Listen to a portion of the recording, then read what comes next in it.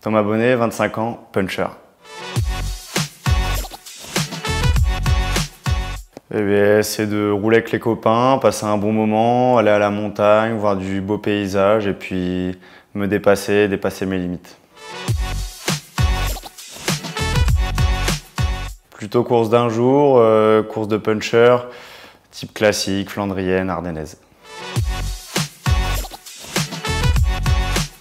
Ça va être de gagner euh, une course, euh, voire plus si, si possible et euh, voilà, accompagner euh, les leaders sur euh, les grosses courses de classique.